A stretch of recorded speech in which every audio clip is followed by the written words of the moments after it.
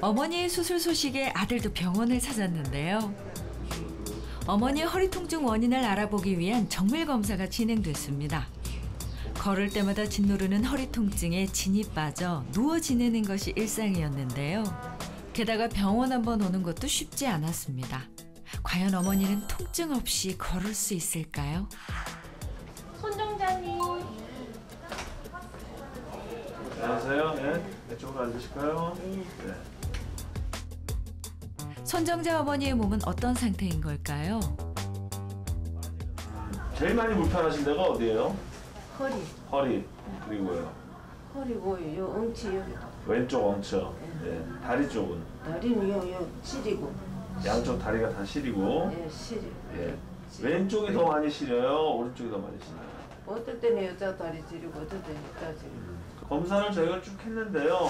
진단명은 분리증, 척추 분리증이랑 어, 협착증이에요. 예. 척추 분리증이란 게 뭐냐면 뭐 어디 어느 마디에나 다올 수 있는데 환자분은 마지막 마디에 여기 5번 뼈가 이렇게 끊어져 있어요. 척추뼈가 끊어져 있다고요?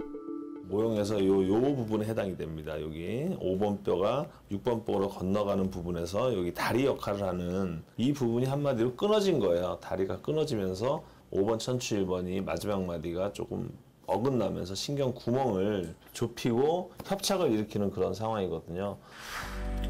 어긋난 척추 마디로 인해 신경이 눌리고 있었던 거죠. 그 고통을 고스란히 참고만 있었을 어머니입니다.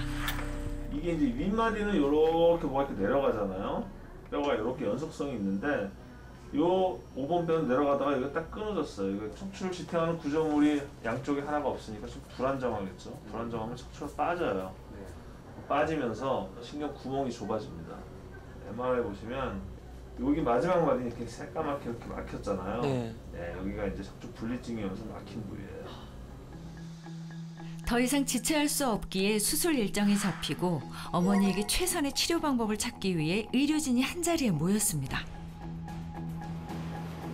음, 이 환자 같은 경우는 어, 전방 접근 알립을 하기로 했는데 분리증 있는 상황에서 뒤쪽에서 특별히 신경을 보지 않고도 앞에서 인다이렉트 디컴프레션 하고 촬영을 해도 충분히 증상이 좋아질 수 있는 환자예요. 근데 앞에 세이크라 스법이 어 이게 만약에 이게 뒤로 우리가 들어가게 되면 그 분리증 라이시스가 있는 주변 쪽이 어디전도 심하고 해서 뭐 해본 사람은 알겠지만 여기서 이 신경을 찾기가 상당히 까다롭고 접근 자체가 조금 신경 쓰이고 뭐 못할 건 아니지만 신경 쓰이고 또 하다 보면 뒤에 이제 어 근육도 좀 어느 정도 손상이 조금 음, 올수 있고 해서 앞으로 접근해서 하는 게 가장 환자를 위해서 아이디어하다고 볼 수 있어요. 그래서 이분은 전방 접근 유압술 그 뒤에서는 어 3, 4번은 어 디컷만 해주고 나사 고정할 예정입니다. 어제는 잘 주무셨어요? 응. 잠은 잘 오는데 아유 간장식 때 그때 힘들어. 응.